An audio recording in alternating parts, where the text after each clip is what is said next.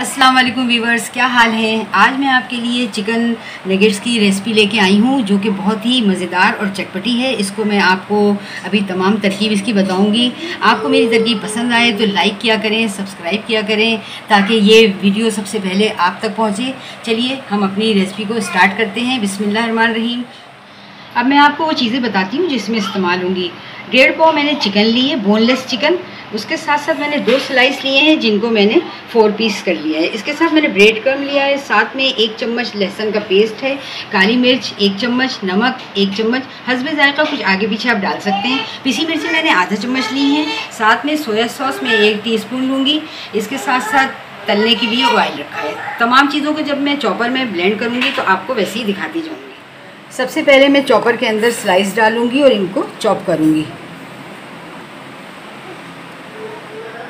Bread को हमने chop कर लिया है। अब इसमें कुछ हम चिकन शामिल कर रहे हैं और ये तमाम चिकन मैं इसके अंदर शामिल कर दूँगी। डेढ़ पाव के करीब हमारी चिकन थी जो मैंने इसमें शामिल कर दी है। तमाम चिकन शामिल हो चुकी है। अब इसके साथ हम इसमें कुछ मसाले जाट डालेंगे जो मैंने निकाले थे। जैसे मैंने काली मिर्चें डाली हैं। काली मिर्चों के बाद लहसुन का पेस्ट डाला है। इसके बाद पिसी लाल मिर्चें डालूँगी और इसके साथ साथ मैं इसमें नमक शामिल करूँगी। इसमें हम एक चम्मच वन टेबल स्पून जो है, ये सोया सॉस भी शामिल करेंगे।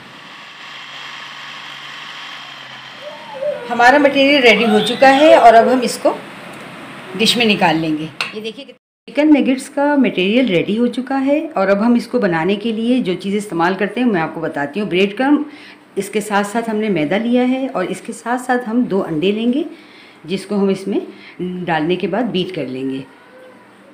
इस तरीके से हमारे चिकन नगेट्स का चीज़ें मुकम्मल हो चुकी हैं।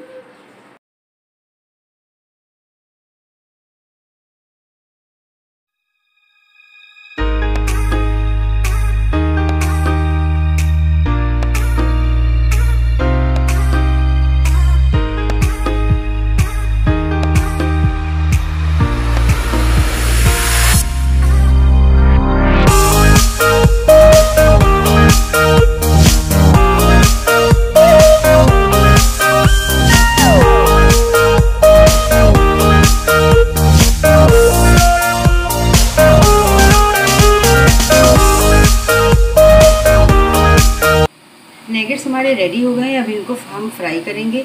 हमने अपनी आँच लो फ्लेम पे रखी है, क्योंकि बहुत ज़्यादा तेज़ आँच पे जल जाते हैं और बहुत स्लो पे ही कच्चे रह जाते हैं, इसलिए इनको अंदर से भी सही पकाने के लिए हमको इनको लो फ्लेम पर रखना होगा।